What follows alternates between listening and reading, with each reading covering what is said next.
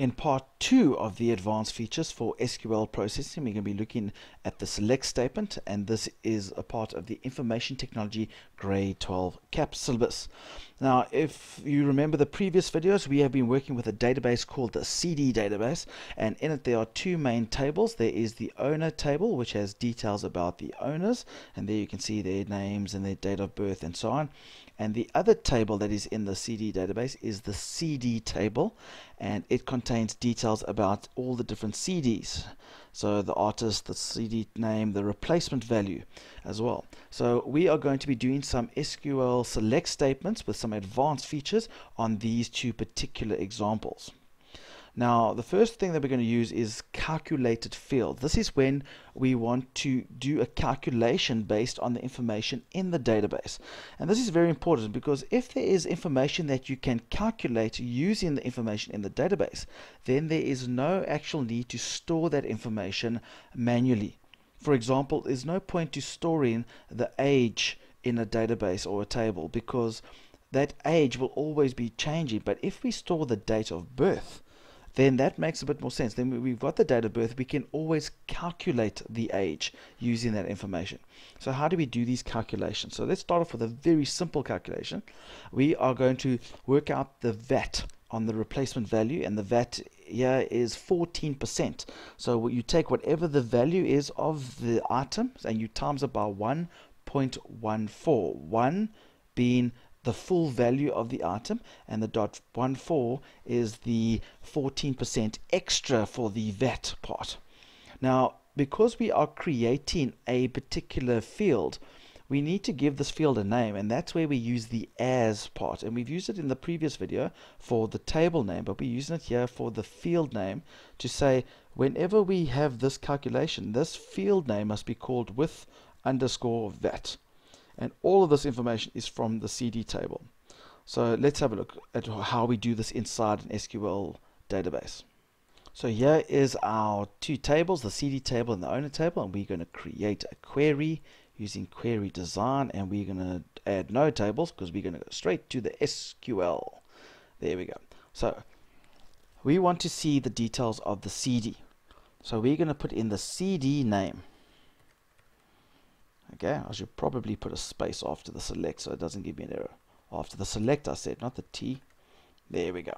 So we've got the CD name. Now we're going to add the replacement value of that CD.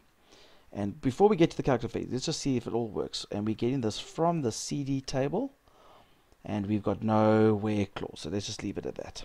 So if I run it, there we go, the CD name and the replacement value. Now let's pretend this is just the standard replacement value and we want to find out what is the total with that. So we want to find out what that. So it's working 14% added on to that value. So for example, this uh, a name uh, boy named Goo, if it's 100 rand, then it will be 114 rand because it'll be 14% of 100, which will be 14 rand, and we add that on to the 100. So if we go back to the SQL, we are going to now create an calculated field. And we can use our normal numbers, we can use our normal operators like plus and minus and all that in times, and we can use the names of the fields that we've already got there. So we're going to take the replacement value, take whatever's in it, and we're going to multiply it by 1.14. So there I've got three fields. I've got the name, I've got the replacement value, and I've got this calculated field, which is that whole thing there. So let's run it. And there we go. So we've, for example, let's test a name, a boy named Goo. It's 100. Ah, it's 114. That is correct. But the only problem, one of the things I don't like about this is this EXPR10 blah blah blah. I don't like what that looks like. So we are going to use the as field after the calculated field as and this is where we can specify what name must go at the top of this field. So I'm going to say with underscore vat so now when we run it with the as, you'll see now there's a nice little title above it in the field name. I know this doesn't look nice with the currency, but we're going to learn how to do the formatting soon. So there we go. Let's just double check our calculator fields. There we go. You just type in using your operators and you use the as field to change the name of that field.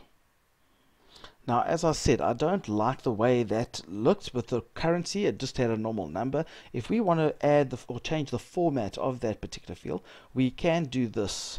And you can actually, instead, although we're using the calculated field here, as you can see, replacement value times 1.14, you could do the formatting on any field. Let's say replacement value uh, by itself wasn't formatted correctly. We could actually just have the replacement value there without having a calculated field. But we are going to use the format uh, function and we're going to take our calculated field and convert it to a currency and then we've still got the as with VAT part. So let's go try that out. So here we've got the exact same example. So in front of the calculated field, I'm going to use the keyword format and I'm going to put the calculation inside the, the two brackets and then we've got the as with VAT at the end. But it needs two things. It needs the field name or the calculated field, and it also needs to tell me what type of format are we changing it to. So I put a comma, and then in double quotes, I'm going to say currency, if I've spelled that correctly. I'll just put that in double quotes, and if I run it, there you can see our with VAT is now looking nice as a currency. That format field can also work for lots of different things. There's currency, there's fixed, a lot of different options for you. There's also formats for dates. So if you want to change what a date looks like, you can always say format and then the field name, in this case date of birth, and then in double quotes the format that you want. So there we've got two spaces for or two characters for the day, two characters for the month, and two characters for the year. So that would typically do a month or a date in the format of 0101 12, for example. So that's how you can do a date. There are lots of different combinations. You could start with a year and end with the day, that type of thing. Other types of functions that we get in SQL um, is the round. This is if we want to round something. So we're going to, instead of formatting, we're going to round it to two decimal places. And let's see what that looks like.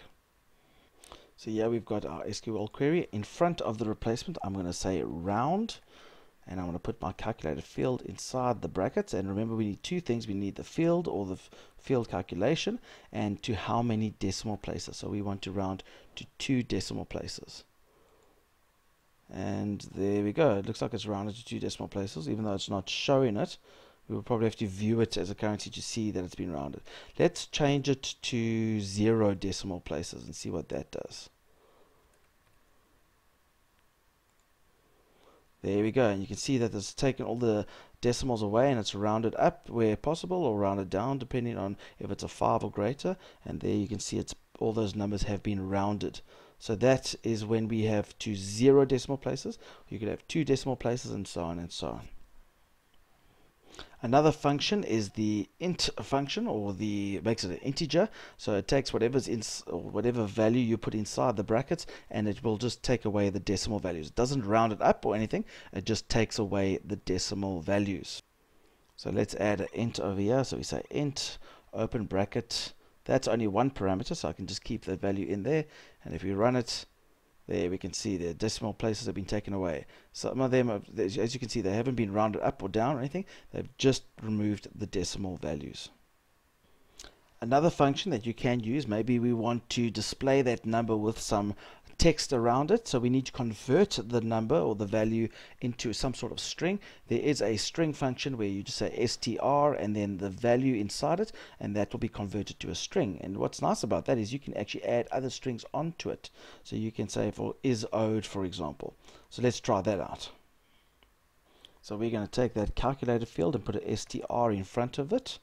So it converts it to a string, and then we're going to add on a text that says is owed, for example. Notice I put a space first before I say is owed because we don't want the is to be right against the value. We want to have a nice little space. So let's have a look at what that looks like. And there we go. So it has the string value is owed. So there we have it. We've learned about calculated fields and how we can format what they look like. So we've changed the format, we've rounded them, we've removed the decimal values, and we've converted them to a string.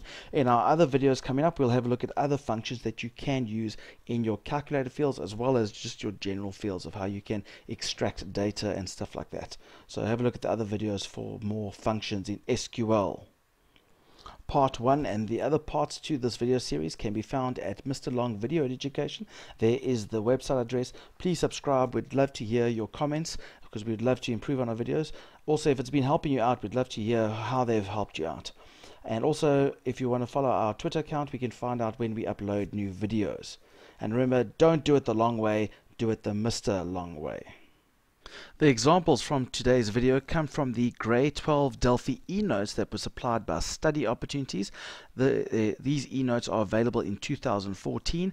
In 2015, a textbook will be available with the entire Grade 12 CAPS syllabus.